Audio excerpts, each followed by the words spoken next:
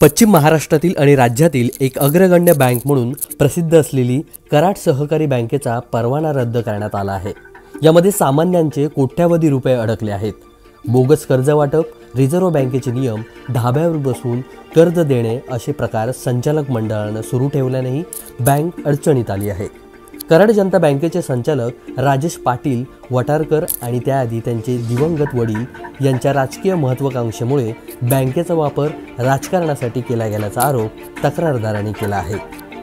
कराड सहकारी बँक अडचणीत येण्यात बेकायदेशीर कर्ज वाटप जबाबदार असल्याचं औसाहेब सांगत आहेत. यामध्ये शालिनीताई पाटील तत्कालीन अध्यक्ष असलेला जरंडेश्वर साखर कारखाना आमदार पृथ्वीराज देशमुख अध्यक्ष असलेला डोंगराई साखर कारखाना त्याचबरोबर फडतरे ग्रुप आणि बिजापुरे ग्रुप हे मोठे थकबाकीदार आहेत. या चौघांकडे सुमारे साडेतीनशे कोटींची थकबाकी आहे. साधारण दोन हजार बारा पासून त्यांनी अवैधरित्या बेकायदेशीरित्या कामकाज करायला सुरुवात केली. मुळात यांनी पैसे घेऊन ज्या वेळेला कर्मचाऱ्यांच्या जादा नियुक्ती केल्या त्याच वेळेला अवास्तव जास्त कर्मचारी भरून या बँकेवर बोजा चालू बोजा निर्माण करायचं काम त्यावेळेपासून यांनी चालू केलं. खेडेपाड्यातल्या ग्रामीण विभागातली जी मुलं मला समजलेले माहितीवरून या बँकेत साधारण चारशे पंधरा चारशे वीस कोटी रुपयेपर्यंतची टोटल कर्ज होती. पण या मॅनेजमेंटनं सगळ्या संचालकांना सहकार आयुक्त कार्यालयाला रिझर्व्ह बँकेच्या ऑडिटर्सना हाताशी धरून पद्धतशीरपणे केवळ चार कर्जदार आणि त्यांच्या नातेवाईकांना या बँकेचे साधारण तीनशे ऐंशी ते तीनशे नव्वद कोटीपर्यंतची आज कर्ज वाटलेली आहे.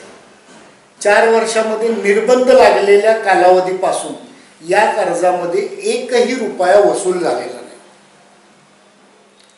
अशा पद्धतीनं हा बेबंद कर्ज वाटप माझ्या माहितीनं जरंडेश्वर सहकारी साखर कारखाना आणि डोंगराई सहकारी साखर कारखाना.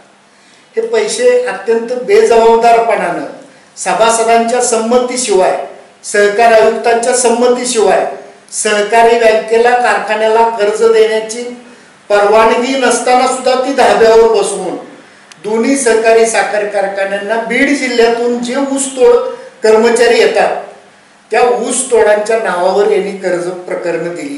कुठल्याही गोष्टीचं तारण नाही. ती माणसं हयात आहेत का नाहीत हे सुद्धा माहीत नाही. साधारण दोन्ही कारखान्यांनी मिळून दोन ऊसतोडीच्या मुकादमांच्या तीनशे लोकांच्या नावावर हे साधारण आज असणारी ऐंशी कोटी रुपयाची थकबाकी आहे. आणि ती लोक आज हयात आहेत का? त्यांचा पत्ता काय? हे देखील माहीत नाही. मात्र त्या कर्जाला फक्त हमी म्हणून त्या कारखान्यांची पत्र घेतली. तारण नव्हे हमी म्हणून फक्त त्या कारखान्यांची पत्र की या लोकांना कर्ज दिल्यास ही फिडतील नाही भेटलं तर आम्ही फिडू तारण कुठलंही या कर्जदारांना नाही. त्यामुळे ही आज रक्कम बुडीत असल्यासारखी झालेली आहे. विजापुरे आणि फडतरे ग्रुप यांच्या जवळजवळ यांच्या घरातील नोकर चाकर यांचे नातेवाईक असं म्हणून फडतरे ग्रुपचे एक चाळीस कर्ज प्रकरण असतील आणि बिजापुरे ग्रुपची एक सतरा ते अठरा कर्ज प्रकरण आहे मग त्यांच्या घरातले नोकर असतील त्यांच्यातला दिवाण जे असेल या लोकांच्याकडं साडेसात साडेसात कोटीची कर्ज प्रकरण आहे त्या कर्ज प्रकरणाला कसलंही एक रुपयाचं तारण नाही. या संदर्भात आम्ही जेव्हा सध्या बँकेवर औसायक म्हणून नियुक्त झालेल्या मनोहर माळी यांना विचारणा केली तेव्हा त्यांनी कर्ज वसुलीबाबत हतबलता दाखवत कोर्टात प्रकरण असल्याचं सांगितलं आहे. बँकेमध्ये आज घडला पाचशे सोळा कोटी रुपये ठेवी आहेत आणि साडेचारशे कोटीपेक्षा जास्त कर्ज येणं आहे. बँकेनं चार मोठ्या कर्जदारांना बिगर तारण किंवा अपुरे तारण देऊन कर्ज दिलेले आहेत. त्या कर्जाची रक्कम साधारण साडेतीनशे कोटीच्या आसपास आहे.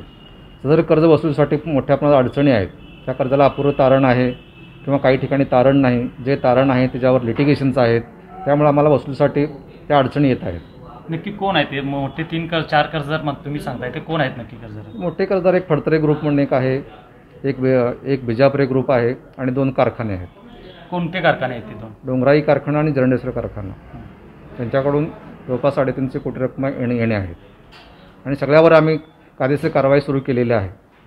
काही को आमचे मॅटर्स सध्या कोर्टामध्ये पेंडिंग आहेत. लॉकडाऊनच्या पिरियडमध्ये त्याच्यावर सुनावणी होऊ शकली नाही. पण ह्या सर्व गैरकारभाराचा फटका नाहक इथल्या सामान्य ठेवीदारांना बसतो आहे. माझ्या बँकेत आहे जवळ तीन चार लाख रुपये माझ्या बँकेत आहेत. आणि पूर्वीच्या नावानं काही एपडे आहेत. लग्नासाठी मी भरपूर पूर्वीच्या लग्नासाठी लय प्रयत्न केला पण तो काय मला इथे एकही रुपया मिळाला नाही. मी शेवटी बाहेरनं कर्ज काढलं लोकांचं दहा टक्क्यानं पैसे काढलं तर आणि ते आता फेडतोय. फेडता फेडता आता पोरग्याच्या माझ्या शिक्षणाचं सुद्धा डिग्री पूर्ण झाली डिप्लोमा झाला डिग्री झाली. मी डिग्रीसाठी पोराला मग- मग- मग महाराष्ट्र बँकेचं कर्ज काढलं. आता कर्ज काढून शैक्षणिक कर्ज ते हे पोरगा नील झाला. म्हणजे शिक्षण त्याचं नील झालं. आणि त्यातनं आता कर्ज चालू झाले. व्याज चालू झाले. हां, पावणे चार लाख रुपये महाराष्ट्र बँकेचं आता ते ते येणारं व्याज.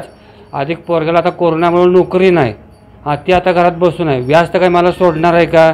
बँक मला सोडणार आहे का? तर ह्या बँकेत माझे पैसे आहेत. मी सारखा हेलपाटं घालतोय पण काय मला इथे पैसे मिळत नाही. मी दिनकर रामचंद्र मोरे. मी गरीब कुटुंबातला एक शेतकरी समाजाचा माणूस आहे. मी दुधाच्या जीवावर मी जगतो की माझं ऑपरेशन करायचं मी दोनदा गेलो पैसे मागायचे आणि दिलेले नाही. आता ऑपरेशन कशानं करू? का जगायचं का मारायचं? लोकप्रतिनिधी जिल्ह्याचे दोन आहेत. जिल्ह्यात तसे लोकप्रतिनिधी ही बँक तीन जिल्ह्यामध्ये आहे. जसं सगळ्या या बँकेच्या कार्यक्षेत्राचा विचार केला तर जवळजवळ पंचवीस तीस आमदार इथं आहेत लोकप्रतिनिधी आहेत. त्यामुळे पंचवीस तीस आमदारांनी जर वेळीच जर या विरुद्ध आता दोन हजार सालापासून इथं गैरव्यवहार चाललेत पण लोकांची दिशाभूल का केली गेली तर दोन हजार सालापासून ऑडिटरांना मॅनेज करून अगदी मी स्पष्ट बोलतो की ऑडिटरांना मॅनेज करून बँकेला अवर्ग मिळाल्यामुळं लोकांनी ते अवर्ग बघून अहवालातला दिशा लोक ठेवी ठेवत गेले त्यामुळे लोकांची दिशाभूल गेली. वेळीच जर या लोकप्रतिनिधींनी आवाज उठवला असता आता बँकेचा परवाना रद्द झाला आहे बँक दिवाळखोरीत गेली. आहे आता तरी सगळ्या लोकप्रतिनिधींनी विधानसभेत आणि याच्यात प्रश्न विचारायला पाहिजेत.